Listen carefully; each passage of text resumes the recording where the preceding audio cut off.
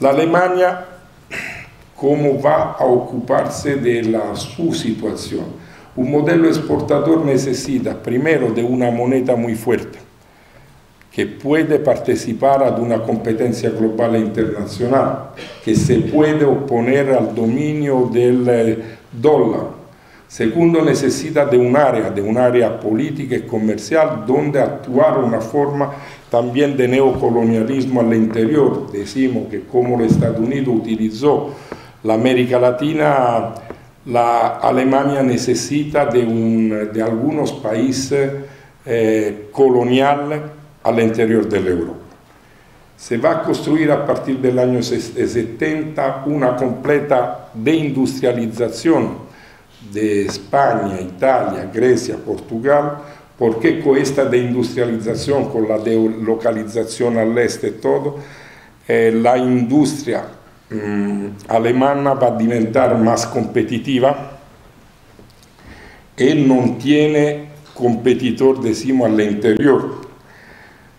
L'area monetaria, ¿cómo se va a crear? Se va a crear a través de una idea de un supermarco El supermarco es el euro. Cuando se va a construir el euro, se va a construir con política económica de corte del estado del bienestar, de corte de los salarios, de ataque directo a los salarios y también con algunos procesos, como el proceso de financiarización de la economía y de privatización, se va a imponer un cambio que no es un cambio de área, Cuando se crea una nueva moneda necesita que todos los participantes a la nueva moneda participen en función de la riqueza social de su país. ¿Mm? Decimos que existe un cambio, moneda en función de la producción del país para vender sencillamente esta cuestión. Por ejemplo, en Italia se cambia en 1936 lira para un euro quando la economia dell'Italia era más o menos il 55-60% di ricchezza sociale in funzione, in contrapposizione, decimo, a ella che era de Alemania. Significa che se va a creare un'inflazione in Italia por lo meno dell'80-90% solo con la imposizione del cambio dell'euro.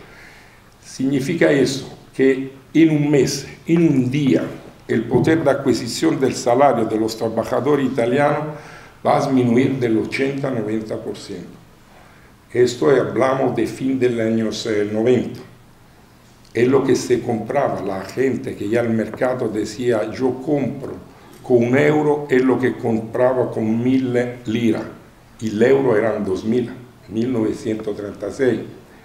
Si a esto se va a hablar después de la precarización del trabajo, de la fine del contrato más o menos colectivo, de la precarización del desempleo se puede ver en una manera sin ningún problema cuánto hoy está eh, disminuido el poder de adquisición del salario. Esto va a ocurrir mientras tanto de una crisis que no es estructural, que es una crisis sistémica dell'area dell'Europa e degli Stati Uniti. Che significa sistémica? Porque quando nosotros hablamos 15 años atrás de crisis sistémica, dice, esa es la locura de algunos marxistas. Y esto, hoy todo el mundo habla de crisis sistémica, pero sin saber de qué se trata. La crisis sistémica no, es, no significa que es crisis global, tiene razón absolutamente James, aquí hoy la, no existe un mundo unipolar como era antes, Hoy existe, por ejemplo, otros países, los BRICS, como Brasil, Rusia, India, China, el Sudáfrica, que no es que estamos diciendo que son socialistas, pero que tiene necesidad de un espacio en la competencia global contra los Estados Unidos y la Europa. Existe el ALBA de la cual hablamos después, donde con toda la contradicción, pero está en proceso de transición al socialismo, por lo menos eh, decimos gobierno democrático y progresista que se están caracterizando con fuerte antiimperialismo y anticapitalismo. Pero, ¿dónde está el problema de la crisis general sistémica que vivimos hoy? Que a partir del año 70, también con el profundizar de esta, eh, decimos así, competencia global, no existe al momento un nuevo modelo de acumulación para valorizar el ciclo productivo completo del capital. Decimos que la condición del 1929, que se creó un otro modelo, un otro instrumento de acumulación, hoy no existe.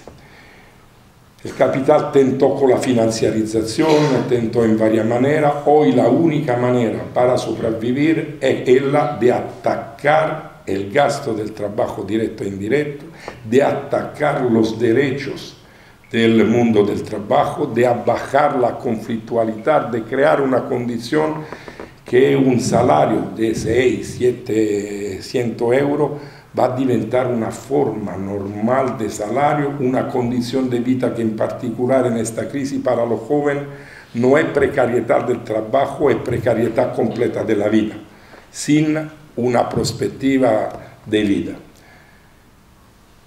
Eh, ¿Qué necesita hoy?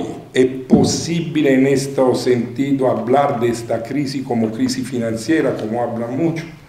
No, la crisis de la finanza es solo una manera que va a mostrar la crisis, pero no es crisis financiera, no puedo absolutamente, no podemos aceptar el discurso de la izquierda, decimos así, eurocéntrica, que va a decir que existe un capitalismo bueno, que el capitalismo productivo un capitalismo malo, que el capitalismo financiero, que se, se va, decimos así, da crear reglas para el capitalismo financiero, se puede crear un nuevo momento, una nueva fase de expansión con una nueva política de estado del bienestar, de estado social, de nuevo keynesismo. Esto no es absolutamente posible porque hoy la finanza es solo una parte de representación del capital a nivel internacional. No existe hoy una multinacional que no tiene paralelamente a la, decimos, a la cuestión productiva, que significa explotación, que no tiene capital en banco, en sociedad financiera y todo esto. No existen dos formas. La finanza fue un tentativo solo de crear renta porque en la competencia global no se podía crear ganancia, provecho a través del ciclo productivo eh, que está en absoluta crisis. Si el euro es el supermarco per garantizar la, il modello esportazione de la Alemania significa che la costruzione della Unione Europea è una costruzione in funzione della competenza globale. Si è esto, la Unione Europea è una nueva forma de imperialismo, diferente puede ser en algunos sentidos con el imperialismo del Estados Unidos, pero se trata de una construcción imperialista. Si no tenemos eso como análisis, se va a crear confusión pensando que la lucha también que puede ser radical aquí en Europa tiene de ser una lucha, decimos, de transformación, de reformismo, de socialdemocracia, de un capitalismo que se puede regresar a forma, decimos así, de carácter social. Salieron dos documentos en esta semana. Un documento salió, me parece, ayer en el Estado de Español, con 50 firmas de político y economista, y un otro peor salió la semana pasada, de izquierdista, de revista y todo en Europa, donde se hablaba, decimos, de esta construcción europea, una parte del análisis podía ser la misma que estamos haciendo hoy, que no se puede salir de esta crisis en esta manera, que necesita un gobierno progresista y demócrata, que necesita un nuevo rol de la izquierda, que necesita proceso de nacionalización, pero no se puede discutir la eh, unidad de la Europea y monetaria, no se puede salir del euro.